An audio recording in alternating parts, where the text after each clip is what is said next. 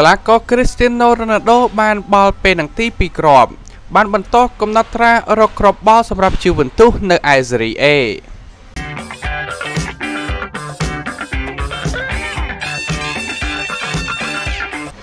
កីឡាករ Cristiano Ronaldo បានសុតបាល់ពេលនឹងទីចូល2គ្រាប់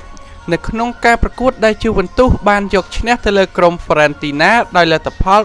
3-0កាលពីថ្ងៃអាទិត្យកន្លងទៅនេះ ក្រុមម្ចាស់ផ្ទះសេតបង្កង់ Juventus ទទួលបានបាល់ពីនៃ11ម៉ែត្រទី1នៅពេលដែលបាល់ប៉ះដៃជាមួយនឹងកីឡាករក្រុមព្យាវនៅក្នុងតំបន់គ្រោះថ្នាក់នៅឯក្នុងតង់ទី1ហើយ Ronaldo សុទ្ធបានសម្រេចហើយក្របបាល់ទី2គឺទទួលបាននៅពេលដែលកីឡាករ Bentenker ត្រូវបានបង្កកំហុសនៅតំបន់គ្រោះថ្នាក់10នាទីមុនចប់ការប្រកួតហើយ Ronaldo ក៏បានធ្វើសម្រេចនៅមួយគ្រាប់ទៀត ហើយនៅចុងបញ្ចប់ម៉ោងខ្សែការពារ Delic រកបានគ្រាប់ទី3នៅម៉ោងបន្ថែមមុនពេលដែលអញ្ញាកណ្ដាលបានផ្លុំកញ្ចែបញ្ចប់ការប្រកួតនោះ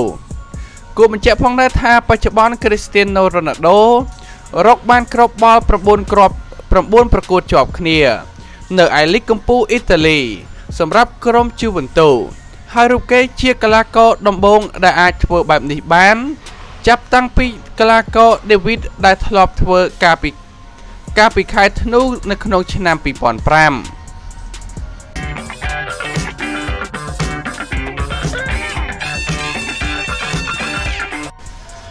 Inter Milan បានសម្លឹងឃើញតារាឆ្នាំ Barcelona ម្នាក់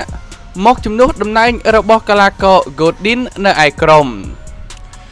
យោងទៅតាមរបាយការណ៍មួយរបស់ Mundo Deportivo ក៏បានឲ្យដឹងថាក្លឹប Inter Milan កំពុងតែត្រៀមខ្លួនរួចជាស្រេច សម្រាប់ការផ្លាស់ប្ដូរ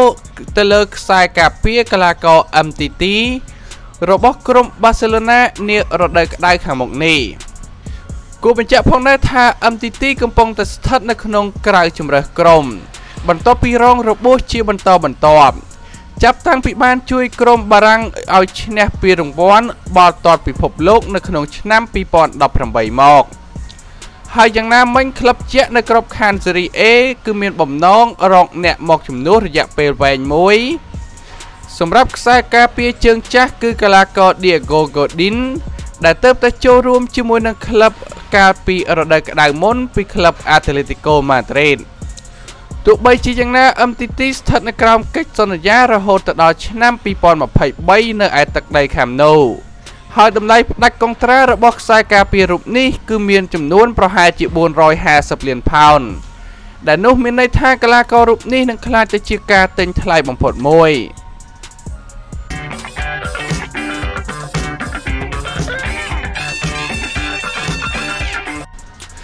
ល្បីថាជូវិនទូសចង់ទិញខ្សែការពារកំពូលនៅព្រីមលីកមួយរូបនៅក្នុងតម្លៃខ្លួន150លានផោន នៅព្រឹកថ្ងៃទី2កុម្ភៈឆ្នាំ2020នេះបើយោងទៅតាមសារព័ត៌មាន Daily Mail ក៏បានចុះផ្សាយកីឡាករ Vigil van Dijk កំពុងតែទទួលបានការចាប់អារម្មណ៍ពីសំណាក់ក្លឹបជាក់ Juventus ដោយហ៊ានឲ្យដល់150លានផោនប្រសិនណាបើ Liverpool ព្រមលក់កីឡាករលេងតំណែងការពារកណ្ដាលរូបនេះនៅក្នុងរដូវក្តៅនេះវាគឺជាតម្លៃខ្លួនដ៏កប់ពពកមួយដែលចំណេញទ្វេ1ជា2 ព្រោះការលីវើពូលទិញយកពីសោសន្តុនគឺចាយអស់ត្រឹមតែ75លានផោនតែប៉ុណ្ណោះគួរបញ្ជាក់ផងដែរថាលីវើពូលទៅតែយកឈ្នះទៅលើក្លឹបចាស់របស់ Vigil van Dijk កាលពីយប់មិញនៅលទ្ធផល4-0ដែលរុញឲ្យលំដាប់ពិន្ទុរបស់ក្លឹបនៅឯ Anfield នាំមុខទៅលើ Manchester City ចំនួន22ពិន្ទុហើយនាពេលនេះបរោះវ័យ28ឆ្នាំបានឈ្នះពានរង្វាន់ UEFA Champions League UEFA Super Cup Club World Cup ចន្លោះពេលខ្លីជាមួយនឹង Liverpool ហើយជាប់ឈ្មោះជាបេក្ខភាពទី2នៅពានរង្វាន់ Ballon d'Or ថែមទៀតផងអញ្ចឹងយើងនឹងរងចាំអត់មើលថាតើលោក Jurgen Klopp ប្រងព្រៀងលក់កីឡាករ Virgil van Dijk ទៅឲ្យក្លឹបអ៊ីតាលីឬយ៉ាងណា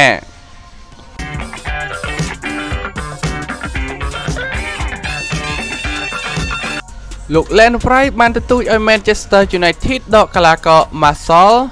ចេញពីជម្រើសដំបូង ហើយដាក់កីឡាកររូបនេះចូលលេងជំនួសវិញអតីតជើងចាស់លោក Len Fry បានជឿជាក់ថាពេលវេលាបានមកដល់ហើយសម្រាប់កីឡាករ Greenwood ដើម្បីជាប់នៅក្នុងជម្រើសដំបូងរបស់ក្រុមជំនួសកីឡាករ Marcel បន្ទាប់ពីបង្ហាញទម្រង់លេងអវិជ្ជមានមួយផ្សេងទៀតទល់ជាមួយនឹងក្រុម Wolverhampton កាលពីយប់មិញគួរបញ្ជាក់ផងដែរថាក្រុមបិសាចក្រហម Manchester United បានបរាជ័យនៅក្នុងការរកគ្រាប់បាល់នៅក្នុងការប្រកួតនៅក្របខ័ណ្ឌ Premier League ចំនួន3លើកចុងក្រោយរបស់ពួកគេដោយចាញ់ក្រុម Liverpool និងក្រុម Burnley មុនពេលស្មើ0ទៅនឹង0ជាមួយនឹងក្រុម Wolverhampton ហើយយ៉ាងណាមិញកីឡាករ Marcel បានធ្វើឲ្យខកខានឱកាសជាច្រើននៅក្នុងអំឡុងការប្រកួតនោះខណៈដែលវីរៈបរិះរបស់ក្រុម Arsenal លោក Rice បានគិតថាកីឡាករវ័យ18ឆ្នាំ Greenwood ដែលបានសុទ្ធបាល់បញ្ចូលទីបាន10គ្រាប់នៅគ្រប់ការប្រកួតទាំងអស់នារដូវកាលនេះគួរតែត្រូវបានផ្ដល់ឱកាសដើម្បីចាប់ផ្ដើមនៅក្នុងជម្រើសដំបូងជាជាងកីឡាករ Marcel លើ សពីនេះទៅទៀតលោកបានប្រាប់នៅក្រៅការប្រកួតនោះថាខ្ញុំនឹងដាក់ Greenwood ឲ្យលេង ជាដាច់ខាតនៅពេលដែលអ្នកក្រឡែកទៅមើលពីរបៀបដែល Marcel បានលេងនៅក្នុងការប្រកួតនោះខ្ញុំនឹងផ្លាស់គាត់ចេញពីក្រុមឥឡូវនេះ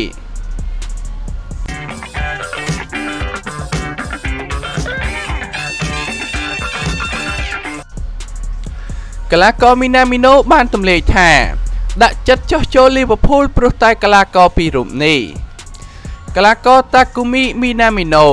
បានជ្រើសរើសយកត្រនំថ្មីនៅឯទឹកដី Anfield ត្បិតទទួលបានការចាប់អារម្មណ៍ច្រើនពីសំណាក់ក្លឹបដទៃទៀតនៅលីកកំពូលអឺរ៉ុបក៏ដោយឆ្លើយតបទៅនឹងមូលហេតុនៃការសម្រេចចិត្តយកលីវើពូលកីឡាករជប៉ុនបាននិយាយថា គឺដោយសារតែឥទ្ធិពលរបស់បុគ្គលពីររូបនេះ ថ្លែងប្រាប់ទៅសារព័ត៌មាន Sky Sport រូបគេបាននិយាយថាខ្ញុំមិនអាចប្រាប់ច្បាស់បានទេថាក្លឹបណា គេខ្លះចាប់អារម្មណ៍លើខ្ញុំតែសូមបង្ហើបថាក្លឹបនៅអង់គ្លេសនិងក្លឹបនៅអាល្លឺម៉ង់ខ្លះហើយហេតុផលដែលខ្ញុំជ្រើសរើសយក Liverpool ព្រោះជាក្លឹបនៅក្នុងក្តីស្រមៃតាំងពីកុមារភាពបែបនេះគ្មានហេតុផលដែលត្រូវបដិសេធសំណើដែលធ្លាក់មកលើខ្លួននោះទេ លោកបានបន្តទៀតថា ខ្ញុំចូលចិត្តកីឡាករ Steven Gerrard និងកីឡាករ Fernando Torres ហើយមួយទៀតខ្ញុំពិតជាចាប់អារម្មណ៍ខ្លាំងពីការលេងរបស់ពួកគាត់ពេលប៉ះ AC Milan នៅ UEFA Champions League នៅក្នុងឆ្នាំ2005នាតង់ទី2គឺពិតជាអស្ចារ្យខ្លាំងណាស់សម្រាប់ការវាយបកគួរបញ្ជាក់ផងដែរថា Minamino មកចូលរួមនៅទីនេះគឺมันមាននាមជាកីឡាករលេងពេញជើង និងអាចជាប់ជំរើសដំបូងជាញឹកញាប់នោះទេ តែរូបគេក៏នៅតែខំប្រឹងប្រសិនណាបើឱកាសធ្លាក់ឲ្យ ជាពិសេសពេលតំបន់ប្រយុទ្ធសំខាន់ទាំង3ជួរមុខមានបញ្ហារបួសណាមួយ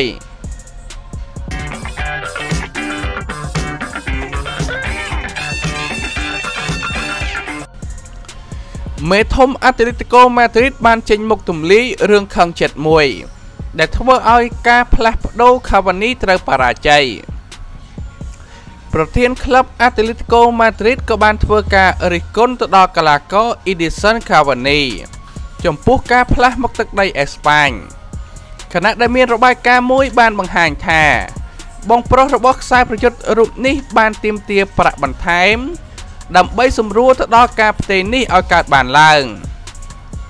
គួរបញ្ជាក់ផងដែរថាអនាគតរបស់ខ្សែប្រយុទ្ធសញ្ជាតិអុយរ៉ាកាយរូបនេះ